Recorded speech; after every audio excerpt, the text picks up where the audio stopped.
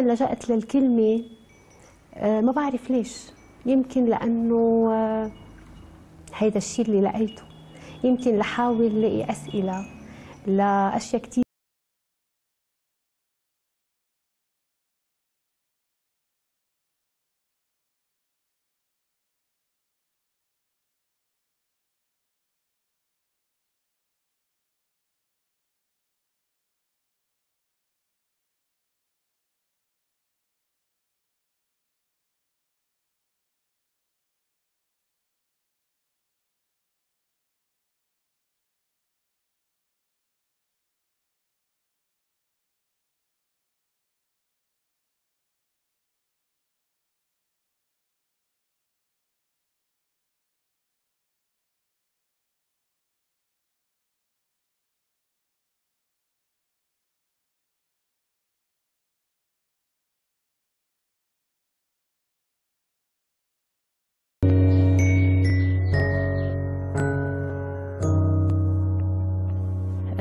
المرأة بالشعر آه، بتختلف عن الرجل.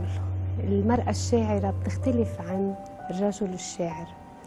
ال- طالما الرجال كان عم يكتب شعر لما المرأة بتكتب شعر تكتب عن هواجسها هي عن حاجاتها هي عن هي كيف شايفة حالها عن أحلامها عن خيباتها عن ضعفها آه، فبتختلف الرؤية بشكل كامل.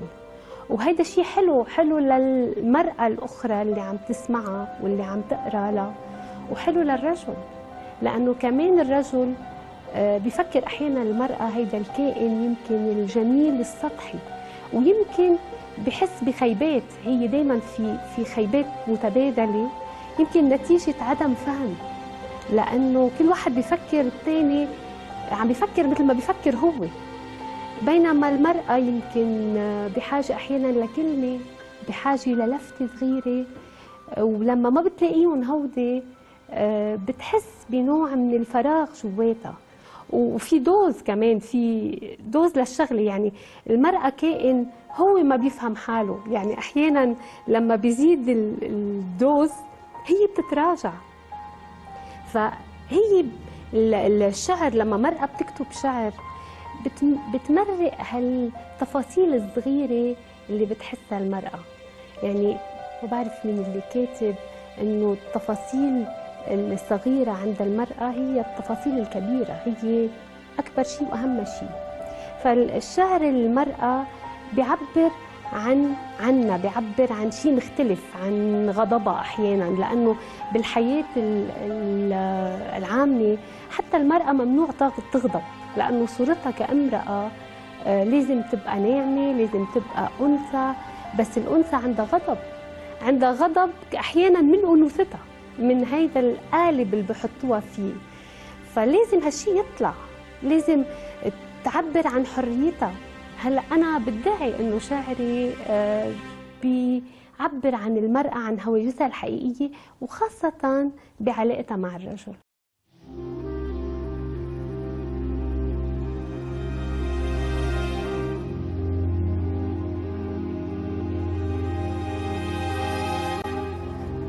في ليالي وحشتك الطويلة تهتفين لجوبيتر أين أنت؟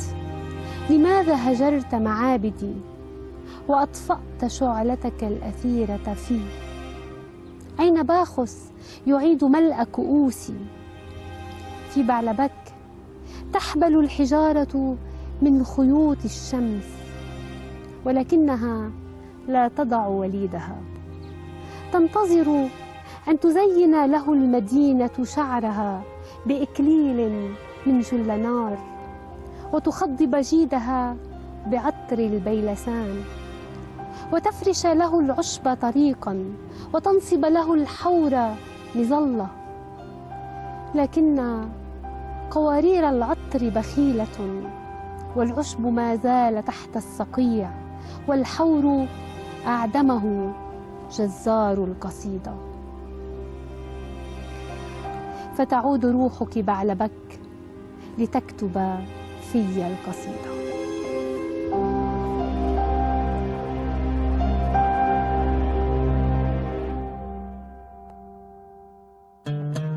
الشخص اللي ما عنده لغة أم ما بيقدر يبدع لا بلغة الأم ولا بلغة تانية اللغة شيء ضروري لاستقرارنا النفسي والعاطفي والفكري.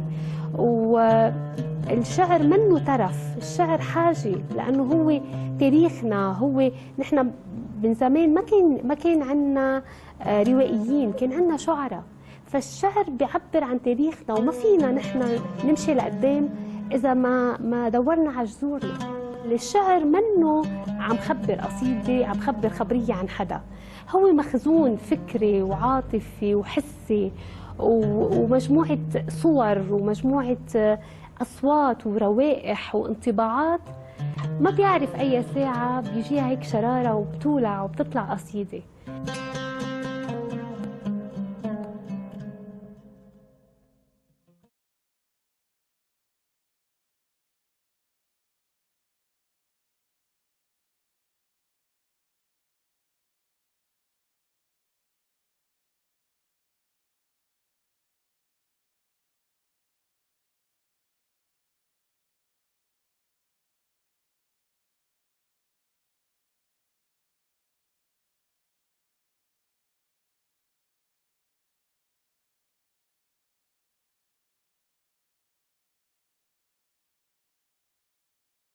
قصيده لي كيف تكسر العادات؟ ويصير الوقت صفرا والكلام صدى والحنان في أحواض البال قشا. كيف نتعلم النسيان؟ قل لي. وننصب للشوق فخا. ونحبس العطر في قارورة فيبقى العطر حرا. ونمسك اللحظة قبل أن تتبخر. قل لي كيف نمشي على الرمل بدون آثار أفكار؟ ونعبر بوابة الزمان كأطياف. قل لي كيف أهدئ حزني وأخفف من رعونته؟ ليس حزني حديث الولادة لكنه حين يأتي فصل الرحيل يعود طفلا. قل لي كيف أمضي بلا سؤال؟ كيف يصير العبور عادة وحرفة كيف أتعلم فن القسوة؟ قل لي وأقطع شرائط الإلفة وأرحل.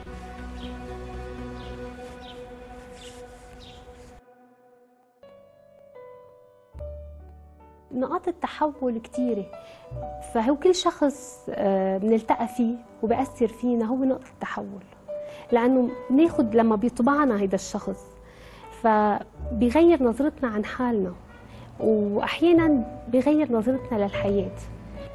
الأماكن بتأثر فينا. يعني أنا كنت عايشة ببيروت طفولتي وانتقلت على على بعلبك بسبب الحرب.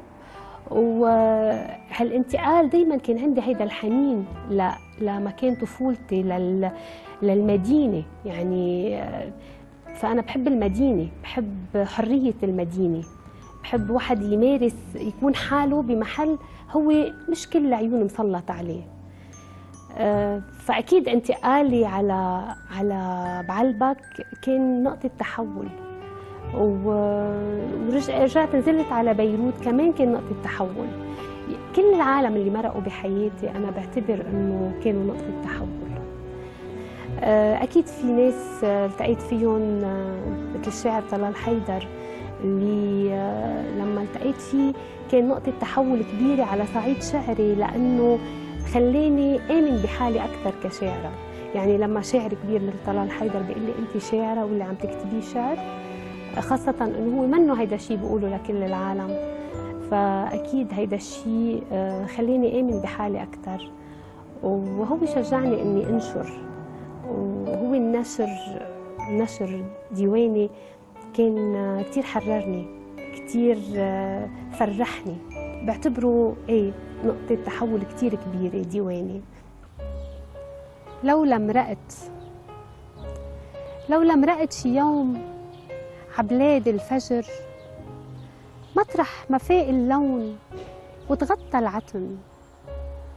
عحفة الدهشة اللي لاحقها الخطر بشارع الأيام المضوى صور بين السحو والنوم بين الرضا واللوم. تحت شبابيك الناطرة زخة مطر. بتشوف إني مرقت وعباب بيتي كتبت يا مارق بهالبال يا ريتك فتت لو لقعدت شي يوم انت والمسا عصوت صمت الليل وغناني القمر. عطراف بحر النوم عشبت السهر. تعرف بإني نمت بغيبتك وحلمت إنك صرت مني وإني أنا منك صرت. لو ميلت شي يوم لعند الهوى وقعدت عنده شوي وحكيته سوا بتحس إني كنت عند الهوى وسهرت. ومن دون ما أحكي هو عرف سري. ويا ريت أنت عرفت.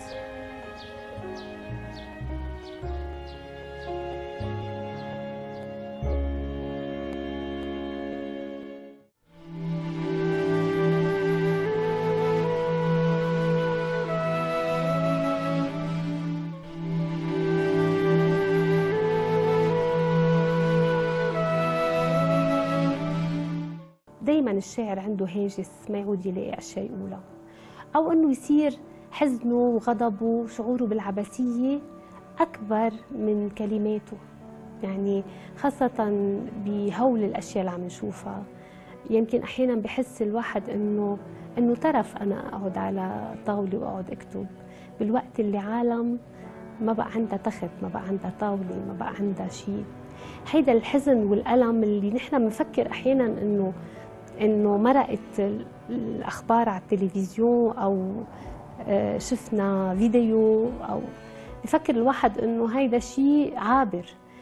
حتى لما بفكر إنه عابر هو بيكون عم يحفر جواته هو بيكون عم بي هيك عم بحس عز جواته عم بخليه يغير رؤياه كمان عم بيكون نقطة تحول. لأنه بيقول أنا بدي أكتب عن هاي الأشياء وفي ناس عم تعيشها. ما بعرف قد يعني قد بده يكتب شيء حلو وقت يكون في كل هالبشاعة.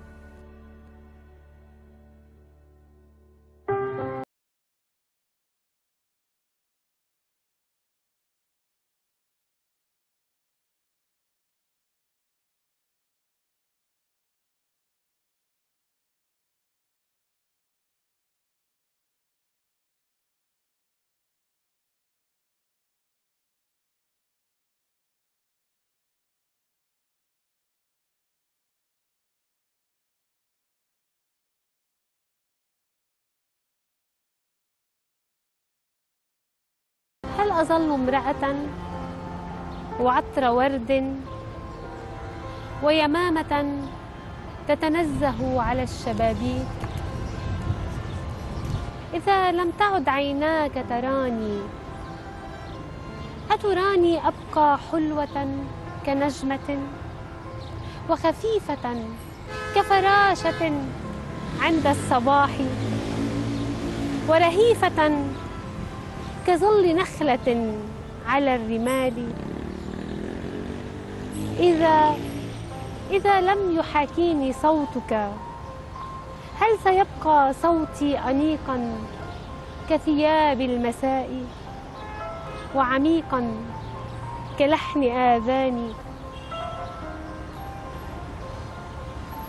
إذا إذا أنت صرت اسما في مفكرتي كبقية الأسماء هل ستبقى للحروف ملامح؟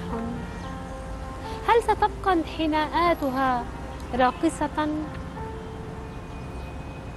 إذا أنا صرت في حياتك اسما ماضيا فهل بقيت أنشئ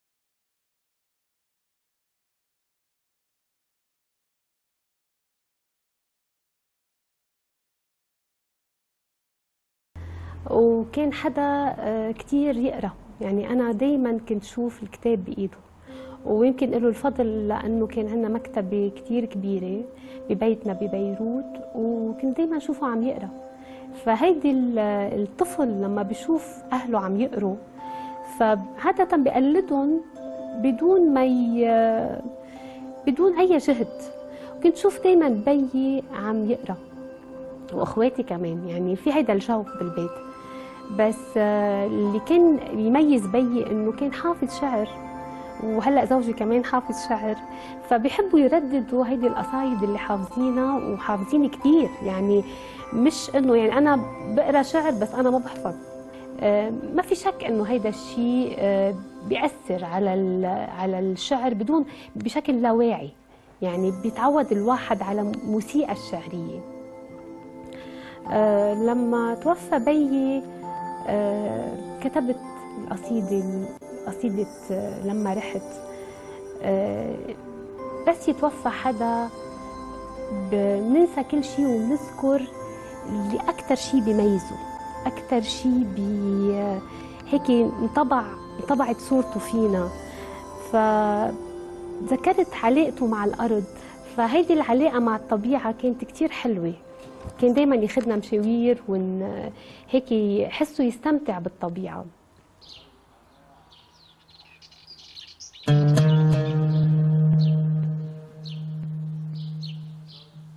لما رحت بعرف ما عدت بيوم رح شوفك. رحت ولآخر مرة غلقت الباب وتركت أهل البيت وضيوفك وتركت كلمات ناطرة بكتاب ونظرات حلوة مثل شمس غياب. صدقت صدقت إنه رح يجي أيار وما تغمروا وتخبروا شو صار بشجرة المشمش لحد الدار. ولا بقى رح تسأل عيونك شو في بمكاتيبنا أخبار. صدقت صدقت إنه حبك الأول اللي تاركه من سنين عرفوفك اليوم رح ينهي سنين الانتظار.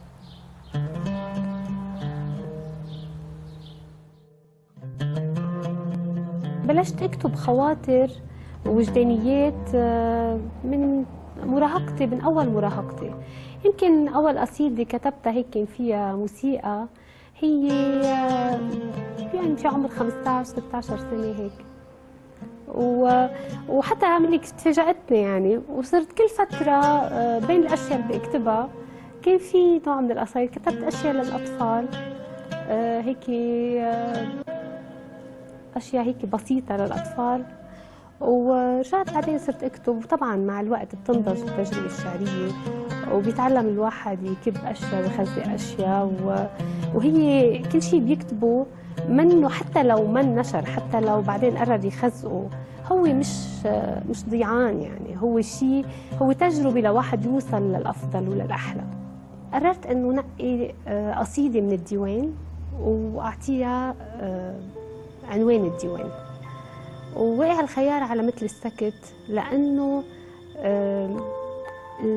الديوان كتير في هيدي إشكالية البوح إنه قديه واحد لازم يحكي قديه لازم يبوح وقديش الكلام بيبقى له معنى وقديش في كلام بنقوله وبدنا نقول شيء تاني من وراه.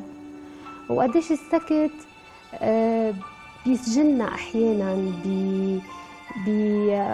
بعدم فهم. ديواني الأول مثل السكت أبدا ما كان ما كان بداية. كان هو تتويج لسنين طويلة من الكتابة ومن الصراع آه، مع الذات ومع آه، محبتي لهالكلام واحيانا غضبي منه لأنه مش عم يطلع الضوء. وأنا قضيت يعني بعرف حالي عم بكتب من سنين المراهقة. طبعا التجربة بتكون بالأول طفولية. بس الكتابة بتخلينا نفكر بتخلينا نقول الأشياء اللي عادة ما بنقولها للآخرين. لأنه قليل الواحد ليلاقي صديق من هو صغير يقول له عمق تفكيره. وضليت فترة طويلة أكتب وأول قصيدة كثير فاجأتني لأنه حسيت إنه أنا شو عملت؟ يعني أنا عادة بكتب خواطر وجدانيات بس حبيت هيدا التوجه لمكان آخر منه مرئي منه مرئي بس له كتير معاني. وهيك بلشت أكتب ومثل السكت هو كان آه، تتويج لهيدي السنوات الطويلة من الكتابة ومن البوح ومن آه، هالعلاقة بين القصايد والجرور اللي بقيت هيك بالعتمة. فشي طلع على الضوء وبعتبره أنا ولادي. فجأة بتسكت مثل السكت مثل الضحكة بتم الوقت. فجأة بتهرب مثل الضوء لما يتغطى بالعتم فجأة بترحل انت وهون وببقى وحدي انت وحدي. ودور على وجهك لاقيه غيمة وضاعت بين الغيم. ودور ودور على فتات عيونك دور على صوتك على جنونك. لاقيك ملطى بالصمت. وفكرك فجأة بينسى حاله. وبينسى مين اللي قباله بيسافر على أرض بعيدة. منا موجودة على الأرض. ما فيها أنا ولا أنت ولا بيمرق ببال الوقت.